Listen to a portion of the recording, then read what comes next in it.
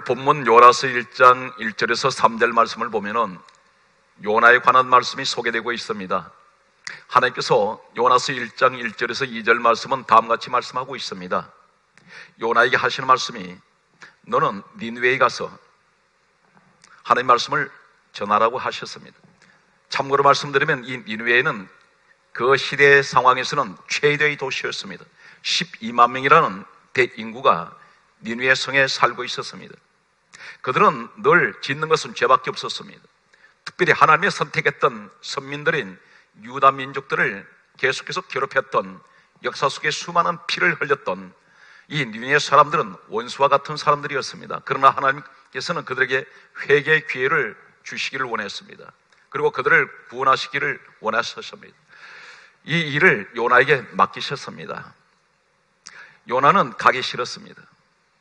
자기 민족의 철천지 원수라고 하는 저 니네 사람들에게 복음을 전한다는 것은 상상할 수가 없었습니다. 그래서 이 사람은 요나서 1장 3절 말씀을 보면은 그는 하나님 말씀을 정면으로 불순종하고 성경은 이렇게 강조하고 있습니다. 여호와의 낯을 피하여 도망했다고 말씀하고 있습니다. 이 사람은 어디로 도망을 했느냐면 다시스로 가는 배를 타고 도망하려고 했습니다.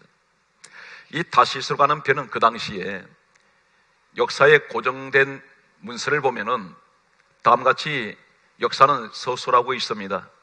매일같이 배가 운항하는 것이 아니라 며칠에 한 번씩 배가 떠났습니다. 그런데 마침 다시스로 가는 배를 이 요나가 만났습니다. 이 사람은 절호의 기회라고 생각했는지 모릅니다. 어쩌면 그렇게 타이밍이 잘 맞는지 이 사람은 그 배를 탔습니다. 이 배를 타고 배가 바다 한가운데로 항해할 때에 하나님께서는 폭풍우가 일어나게 하셔서 배가 뒤집힐 것 같았습니다.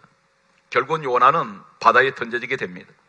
이때 하나님께서는 큰 물고기를 준비하셔서 요나를 물고기가 삼키게 만드셨습니다. 그리고 하나님께서는 이 물고기를 통해서 요나서 2장 10절 말씀을 보면은 요나를 큰 물고기를 통하여 육지에 토하니라 이렇게 말씀하고 있습니다. 육지에 토한 그 자리가 어디냐면 그렇게 가기 싫었던 니누의 땅 쪽이었습니다. 결국 하나님은 본래 자리로 데려다 놓으셨습니다. 하나님께서는 육지의 물고기를 통해서 요나를 토하게 하신 후에 다음같이 말씀하고 있습니다. 요나서 3장 2절 말씀을 보면은 너는 니누에 가서 하나님의 말씀을 전하라고 하셨습니다. 지금으로 말씀드리면 복음을 전하라고 했습니다. 전도하라고 하셨습니다. 오늘 1년의 이 요나 사건을 보게 되면 결국은 요나는 니누에 갔습니다. 가기 싫은 그곳에 갔다가 하루 길을 돌면서 복음을 외쳤는데 사람들 전부가 나와서 회개를 하고 심지어 짐승들까지도 금식을 하면서 이들은 회개를 했습니다. 하나님께서는 이 한 사람을 통하여 니누의 성 12만 명을 구원하셨습니다. 이 사실 앞에 우리는 한 가지를 주목합니다. 요나가 하나님이 하기 싫어서 도망갔습니다. 이때 하나님께서는 그 당시도 지금 이 시대와 마찬가지로 수많은 사람들이 지구촌에 있었을 것입니다. 그런데 하나님이 도망가는 요나를 버릴 수 있습니다. 하나님이 하지 않겠다고 도망가는 그 사람을 붙들고 굳이 하나님께서 그 사람을 사용할 이유가 없습니다. 그럼에도 하나님은 끈질기게 이 사람을 추격을 합니다. 계속해서 추격을 하면서 도망가는 그에게 폭풍우가 일어나게 하셨고 물고기를 예비하게 하시고 결국은 하나님께서 뜻대로 니네의 성으로 가게 만드시면서 그곳에 토해놓게 만듭니다. 오늘 이 모습 앞에 우리는 한 가지를 깨닫습니다. 하나님께서는 사람을 선택하시면 결코 놓지 않습니다. 잘못합니다. 불순종합니다. 요나처럼 하나님 앞에 정면으로 그는 하나님이 하기 싫어서 도망가도 하나님께 끝까지 포기하지 아니하시고 버리지 아니하시고 그를 붙들어다가 다시 서시는 우리 하나님 오늘 이 시간은 무엇을 말씀한지 아십니까? 우리 날마다 넘어집니다. 하루도 쉴 사이 없이 입으로 많은 죄를 짓습니다. 많은 실수도 거듭합니다. 때때로는 자기 자신이 너무나 허약하고 연약한 모습 앞에 스스로 무너질 때가 있습니다. 하나님 앞에 엎드려서 날마다 개가 토한 것을 주워 먹듯이 죄를 반복해서 짓고 있는 자신의 모습을 보면서 나는 어쩔 수 없는 인간이야. 나기 스스로가 자학을 할 때가 있습니다. 그런데 하나님은 그럼에도 불구하고 포기하지 않는다는 사실입니다. 오늘 살아온 성도 여러분, 이 시간에 가정에 여러 가지 어려움이 있고 사업장 어려움이 있습니다. 직장 생활도 여러 가지 난관이 있습니다. 그러나 우리 하나님은 그럼에도 불구하시고 우리를 포기하지 않는 그 하나님, 바로 그 하나님을 향하여 나는 아버지라고 부르고 있습니다. 아버지를 부르는 나도 환경이 아무리 힘들고 그래도 포기해서는 안 됩니다. 성경은 계속해서 말씀을 보게 되면 두 번째 사람 아브라함의 모습을 소개하겠습니다. 이 아브라함은 75세 때에 하나님의 부르심을 받았습니다. 이때 하나님께서는 가장 먼저 그에게 하신 말씀이 너 자손을 인하여 천하 만민이 복을 받을 것이라 했습니다. 75세가 되었던 이 아브라함은 하나님께 부름 받았을 때는 자녀가 없었습니다. 10년 세월이 흘러갔습니다. 아브라함은 정던 땅 고향을 떠나서 가나안 땅에 정착을 했습니다. 10년 세월이 지나는데 하나님의 약속의 말씀은 이루어지지 않았습니다. 이때에 이 사람은 창세기 16장 2절 말씀을 보면은 성경은 다음같이 말씀하고 있습니다. 아브라함이 부인 사레의 말을 듣고 사레의 몸종인 하가를 첩으로 맞아 들였다고 기록되어 있습니다. 그리고 이 몸에서 태어난 아이가 이소마이라는 아들이 태어났습니다. 이때 성경은 아브라함의 나이를 성경은 기록하고 있습니다. 창세기 16장 16절 말씀을 보면 아브라함이 하갈의 몸에서 이스마엘을 낳을 때 그의 나이는 86세였더라 이렇게 기록하고 있습니다. 75세에 부르심 받았던 아브라함은 86세 때에 사례의 말을 듣고 사람의 말을 듣고 하나님 말씀을 이 사람 버려버리고 사람의 말을 듣고 이썸마이라는 아들을 첩의 몸인 하갈 몸에서 태어났을 때 만 10년 세월이 흘렀습니다. 이때 하나님께서는 아브라함을 떠나버리십니다.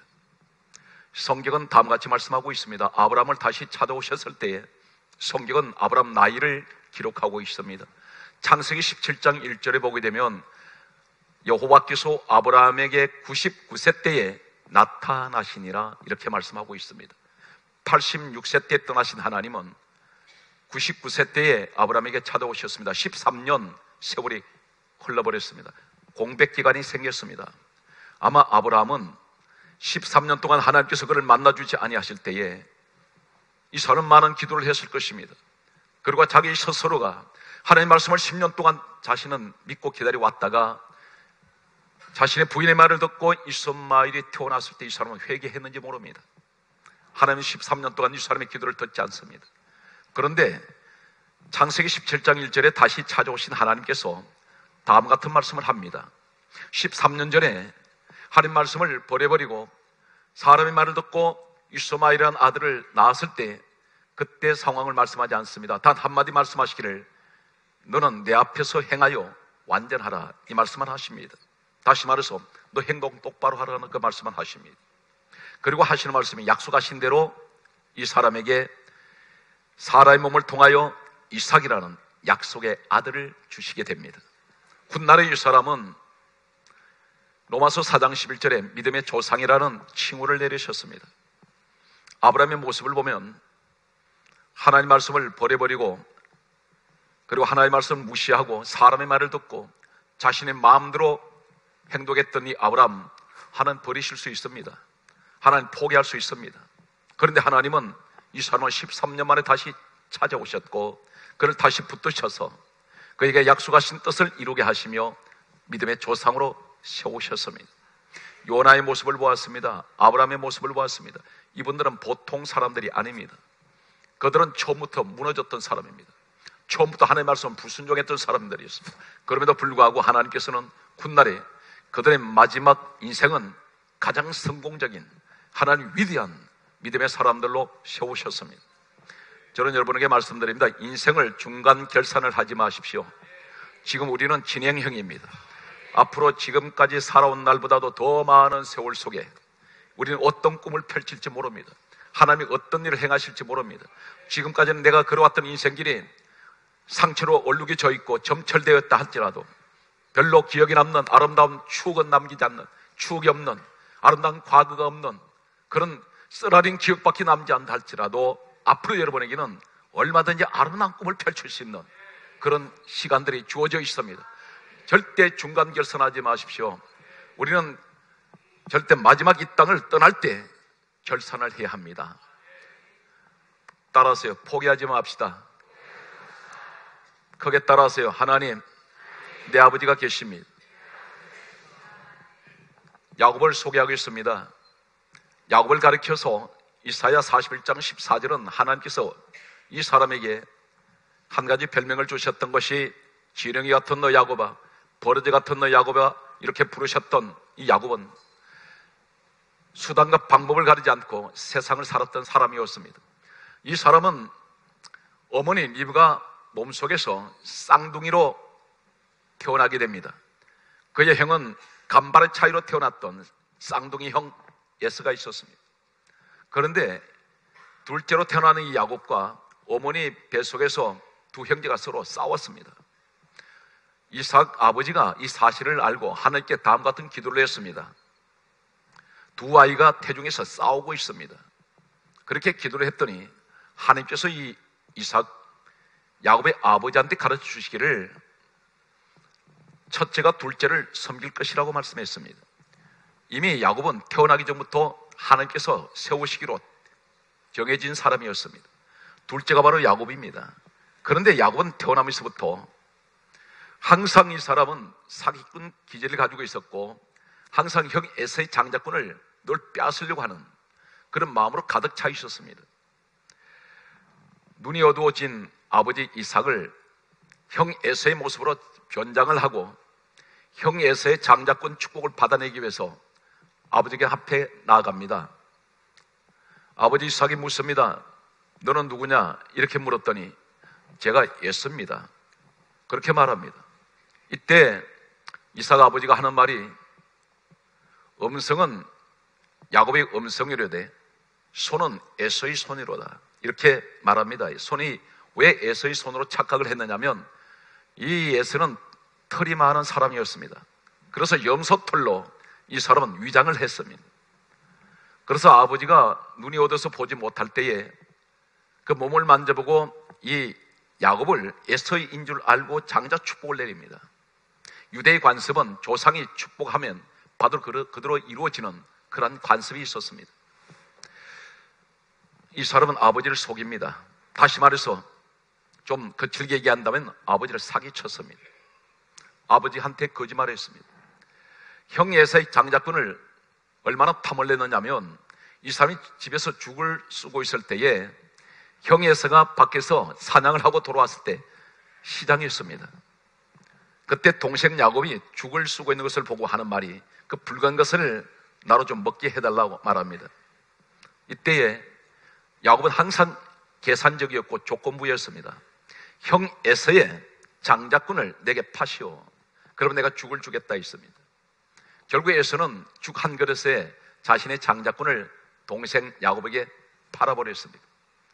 이러한 한 사람 야곱이 하나님께서 태어나기 전부터 지명을 했고 택하시고 쓰시려고 했는데 이 사람 변화가 되지 않습니다. 세월은 무려 이 사람이 하란이라는 곳에 가서 20년 세월을 지난 동안 이 사람은 전혀 변화된 모습이 아니었습니다. 늘 세상 모습 그대로 가지고 있을 때에 이 사람의 창세기 32장 24절 말씀 보게 되면 얍복이라는 나루터에 홀로 앉아 있을 때가 있었습니다. 인생의 밤은 깊어갑니다. 밤이 점점 깊어갈 때에 성경은 다음 같은 말씀을 하고 있습니다. 야곱이 홀로 남았더니 어떤 사람이 야곱과 씨름하다가 이렇게 성경은 기록하고 있습니다. 이 짤막한 내용 속에 한 가지가 대단히 중요한 대목이 보입니다. 말씀이 없습니다. 하나님께서 아무 말씀 없이 야곱을 치고 들어왔습니다. 이 치고 들어온 이 사람이 누구냐면 호시아 12장 4절은 다음같이 말씀하고 있습니다. 야곱과 싸움을 했던 그 상대는 천사였습니다. 천사는 성경은 이렇게 강조하고 있습니다. 히브리서 1장 14절에 모든 천사들은 하나님의 부리는 영이라고 했습니다. 하나님께서 보내셨습니다. 다시 말해서 하나님께서 보내신 이 천사는 하나님께서 오셨다는 것을 의미하고 있습니다. 하나님께서 야곱을 쳤습니다. 말씀이 없습니다. 우리의 모습이 어떤 모습이냐면 그동안 수없이 예배를 통해서 많은 말씀을 들어왔습니다. 그런데 전혀 변화가 안 됩니다. 이때 하나님께서는 말씀을 들어서는 안 되겠다고 생각하십니다. 그래서 바로 행동으로 옮기시면서 하나님께서 쳤습니다. 이때 야곱의 환도뼈는 위골되어 버렸습니다. 뼈가 빠져버렸습니다. 나가 떨어진 상태에서 묻습니다. 너 이름이 무엇이냐? 야곱입니다. 몰라서 물으실까요? 야곱입니다 하는 말이 무슨 말이냐면 나는 사기꾼입니다. 나는 수단과 방법을 가리지 않고 인생을 살아왔습니다. 이러한 의미가 포함되어 있습니다. 이때 하나님께서 말씀하시기를 너는 이제부터 야곱이라 하지 말고 이스라 이라 하라 이렇게 말씀하셨습니다. 이 모습 속에서 우리는 한 가지를 역시 요나, 아브라함 그리고 야곱의 모습 속에서 한 가지를 또 깨닫습니다. 야곱 포기하실 수 있습니다. 하나님 버려버리실 수 있습니다. 사람은 얼마든지 있습니다. 하나님께서 그분이 잡으시면 얼마든지 능력 있는 사람으로 설 수 있습니다. 지혜가 부족하면 지혜도 주시면 됩니다. 그런데 야곱을 포기하지 않습니다. 하나님께서는 이 야곱은 약복나루트에서 환도뼈로 인해서 성경은 강조하고 있습니다. 이 사람은 절룩거렸더라 말씀합니다. 하나님 만난 흔적은 그런 장애자가 되게 됩니다. 이러한 모습 속에서 하나님께서 한 번 선택하시면 끈질기게 추격하시면서 나를 계속해서 따라오신다는 사실입니다. 놓치지 않습니다. 한 가지 기억하십시오. 여러분 우연히 어쩌다가 성경에 말씀 우리가 굳이 언급하지 않아도 내가 내 생각으로 교회 왔으니 내가 지금 내 마음대로 지금 예배 드리고 있다 오해하지 마십시오. 성경은 이렇게 강조합니다. 내가 너를 부르지 않으면 내 앞에 올 자가 없다고 말씀합니다. 하나님이 부르심 때문에 오셨습니다. 여러분 전부 다 선택받았습니다. 하나님 여러분이 어떤 자리에 있든지 결코 포기하지 않습니다. 그렇다면 우리도 생활 환경을 포기해서는 안 됩니다. 반드시 우리는 꿈을 가지고 있기 때문에 이 꿈을 이루어 나가시는 이 시간 여러분들이 되시기를 주의 수로 축복합니다. 성경 말씀을 보면 모세라는 사람이 있습니다. 모세는 나이 40세 때에 왕자로 있다가 이 사람은 출애굽기 2장 12절에 사람을 때렸는데 죽었습니다. 살인자가 되었습니다. 지명 수배를 받습니다. 이 사람은 미디안이라는 지옥의 사막으로 도망을 쳤습니다. 이곳에서 40년을 지내는 그는 나이 80이 되었습니다. 이제는 이 사람은 다시는 회생할 수가 없습니다. 일어날 수가 없습니다. 꿈을 접어야만 했습니다. 이 사람 주변에는 아무도 돕는 사람이 없었고 가진 재물, 세상 권력, 세상 지식 아무것도 없습니다. 전무한 상태입니다. 이때 하나님께서는 40년 광야 사막에서 이제는 쓸쓸하게 이렇게 살다가 마지막 여생을 마쳐야 되겠다는 생각을 하고 있는 이 모세에게 출국기 3장 1절 이하의 말씀 보게 되면 하나님께서 찾아오셨습니다. 그리고 이름을 부르셨습니다. 하나님의 이름을 기억하셨습니다. 실패자입니다. 하나님 이 사람 다시는 안 설 수 있습니다. 이 사람은 나이 40세까지 사람을 왕자로 쓸때 죽였을 때에 이 사람은 출국기 2장 12절을 강조합니다. 적흥적인 사람이었습니다. 굉장히 충동적입니다. 굉장히 혈기가 많았던 사람입니다. 이 사람은 앞뒤 가리지 않습니다. 성격이 대단히 단순했던 사람이었습니다. 그리고 자신의 권력만 믿고 행동했던 사람이었습니다. 이 사람은 육신적인 힘만 의지했던 사람이었습니다. 나이 40세 젊음이 있었습니다. 이 사람은 실패해버렸습니다. 하나님께서는 이 사람을 안설수 있습니다. 그런데 하나님은 이 사람을 붙들어서 민족의 대지도자, 40년 광야의 대지도자로 모세를 세우시게 됩니다. 사랑하고 존경하는 우리 사랑하는 성도 여러분, 인생은 힘들고 어렵더라도 결코 포기하지 말고 낙심하지 마십시오. 수많은 난관이 있습니다. 그러나 그 난관을 여러분 육상 경기가 허들 경기가 있습니다. 많은 장애물을 뛰어넘어갑니다. 하나 넘어갔더니 또 기다리고 있습니다. 우리 인생은 마치 허들 경기하는 것과 똑같습니다. 이제는 내 앞에 몇 개의 또 장애물이 있는지 모릅니다. 그러나 낙심하지 말고 우리는 또 달리고 달리면서 뛰어넘어가야 합니다. 반드시 우리에게는 하나님이 계시기 때문입니다. 성경 말씀을 보게 되면 베드로라는 사람이 있었습니다. 이 베드로는 예수님께서 가장 중요한 자리마다 데리고 다니셨습니다. 그러나 이 베드로가 입으로 평소에 고백하기를 주는 그리스도시요 살아계신 하나님의 아들이십니다. 다 주를 버릴지언정 저는 결코 주님을 버리지 않습니다. 내가 죽을지언정 저는 결코 주님을 떠나지 않습니다. 이렇게 호언장담했던 베드로였습니다. 그런데 주님께서 붙잡으셔서 신문을 받으러 끌려가실 때에 성경은 가슴 아픈 한 대목을 다음같이 기록하고 있습니다. 마태복음 26장 56절에 제자들이 다 예수를 버리고 도망하느라 한 사람도 주님 곁에 남아있는 사람이 없었습니다. 다 도망가 버렸습니다. 그들은 다 예수님을 포기했습니다. 예수님을 버려버렸습니다. 한 걸음 더 나아가서 베드로라는 사람이 마태복음 26장 69절 말씀을 보게 되면 성경은 다음같이 기록하고 있습니다. 예수님께서 재판을 받는 신문 받는 그 현장에 베드로가 따라 들어왔습니다. 숯불을 피우는 그곳에 세상 사람들과 어울려 앉아 있는 이 사람에게 옆에 있던 한 사람이 베드로를 지적합니다. 너도 예수와 한편 아니냐? 이렇게 말할 때 이 사람이 입에서 거침없이 내뱉는 말이 나는 아니라. 그러면서 나는 예수를 모른다고 부인하면서 예수님을 저주해 버렸습니다. 그리고 성경은 이렇게 강조합니다. 맹세코 나는 예수를 모른다 그랬습니다. 이 사람이 나중에 예수님께서 십자가에 고난 당하시기 전에 하신 말씀이 생각이 났습니다. 내가 닭 울기 전에 세 번 나를 부인하리라. 이 말씀이 생각나서 이 사람은 통곡하면서 눈물을 흘리며 울었던 사람이 베드로였습니다. 이 사람은 과거의 길로 돌아갔습니다. 다시는 이 사람은 주님을 찾지 않을 것 같았습니다. 과거에 예수님 만나기 전에 어부 직업을 하기 위해서 고기 잡으러 떠나간 그런 바닷가에서 고기를 잡고 있었습니다. 예수님께서 부활하신 후에 그 제자들을 찾아가셨습니다. 특히 베드로를 찾아가셔서 숯불을 피워놓으시고 떡과 물고기를 구워 놓으시고 하시는 말씀이 이리 와서 조반 먹자고 말씀합니다. 주님은 배신한 사람, 주님을 버리고 도망간 사람, 주님을 포기했던 이 베드로를 찾으셔서 다시 그를 부르셨습니다. 베드로뿐만 아니라 다 예수를 버리고 도망갔던 제자들을 일일이 찾아오셨습니다. 주님은 끝까지 그들을 버리지 않았습니다. 그리고 성경은 강조합니다. 사도행전 1장 13절에서 14절에 보게 되면 예수님을 버리고 다 도망갔던 제자들 이름이 마가의 다락방에 모인 그들의 이름이 다 기록되어 있습니다. 예수님 이곳에 데려다 놓으셨습니다.